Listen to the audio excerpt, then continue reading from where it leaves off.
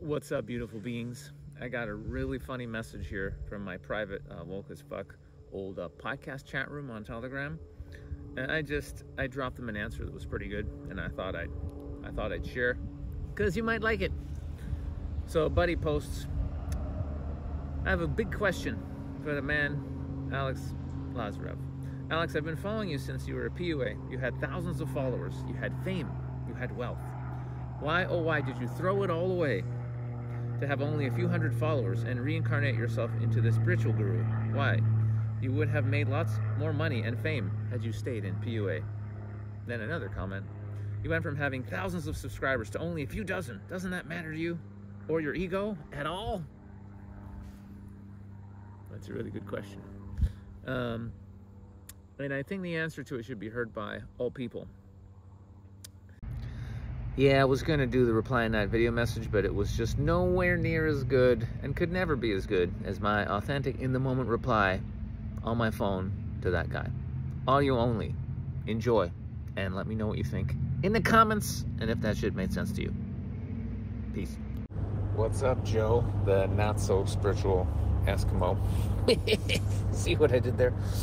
Um, well, the answer to your question is uh, fairly straightforward.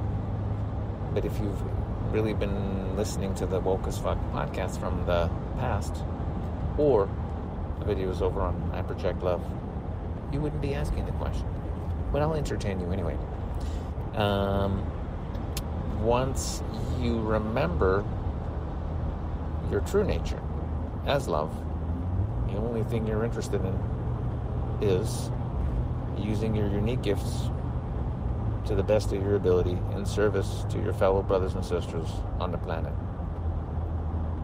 That's it.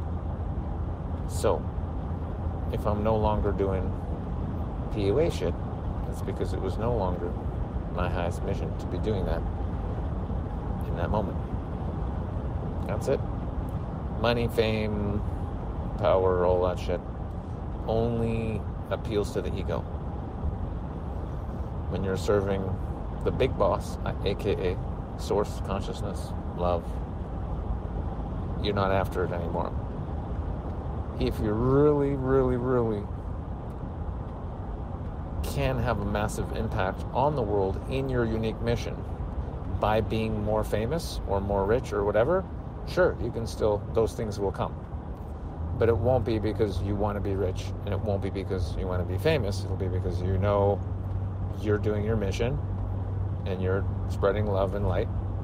And the universe is like, okay, well, you need to be more famous now so you can do more of that. And so it happens. But, and only the ego grabs a hold of that and goes, oh, get me, I'm so awesome. And then you uh, get your, knocked on your ass. And this is what happens to tons of people who get famous or rich or whatever, and then they get in their ego and then they lose the money or they do something stupid and they lose the fame or whatever. And the cycle goes on and on and on. So, yeah, so I'm doing what I've been called to do, waking up the masses through comedy, using humor. That's my unique gift. And of course, with the I Project Love stuff, you know, sharing spiritual knowledge, uh, bringing people together, something I've always been doing, but specifically so that people can, you know, support each other and building the new earth. Yeah, so comedy, bringing people together, healing. These are my gifts. So anything I'm doing in those realms, I'm supported and magical things happen uh, all the time because I'm doing what I'm supposed to be doing. Resistance, i.e., you know, things not going the right way, it's not working out, blah, blah, blah problems. It's because you're not on the right path.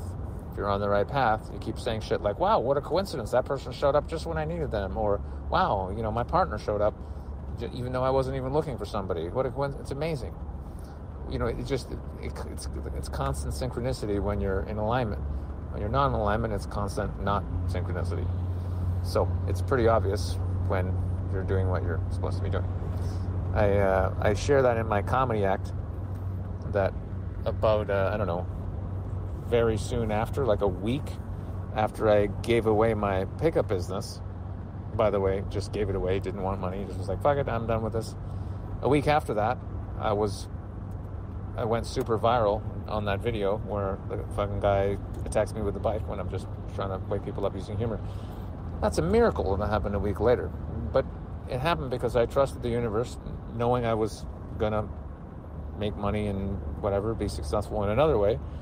So much so that I was able to give away my business, not knowing where I was to make an income from, because I trusted the universe and I, I was doing what my soul wanted me to do, which is wake people up using humor. And guess what? I made that video. Some I was just doing my thing. It's a fucking crazy guy attacks me. And shit, shit goes viral, and boom, I got thousands of people. Uh, over twenty thousand, by the way. Wink, wink, nudge, nudge. That was from my ego.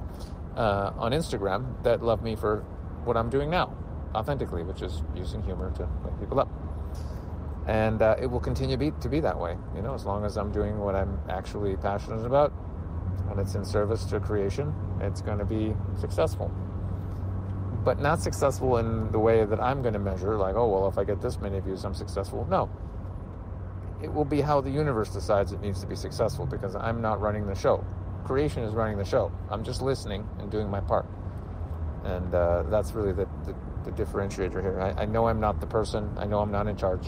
I'm just fulfilling my role in this video game hologram of consciousness that we're in. That's what I'm doing. That's what we're all doing. I'm just aware of it because I've been on the healing and awakening path for so long and I've had experiences, you know, to understand what the fuck's actually going on here. So I would under I would always just recommend everybody do that. The answer to every question is have you done your shadow work? Have you done your healing? Have you cleaned up your diet? Do you know what your soul's purpose is? Are you living your soul's purpose? Are you actually doing what you want that makes you excited every day? And if the answer is not, why not? And what do you have to change in your life to get to the point where you are doing exactly what you're here to do every day of your life? There's nothing else to do but do the personal work required to get to that point where you're doing exactly what the fuck you need to be doing. There's nothing else. So I've done enough of that where now I'm clear on who I am and what I'm doing. So I'm able to kick ass.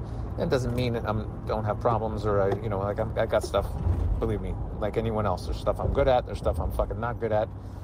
But my intention is always to live my life in a way where everybody wins. And I do that to the best of my ability. Anyway, that should have answered the question. Sending you mucho love. And uh, how dare you suggest I have dozens of followers, dick face? What the hell is the matter with you?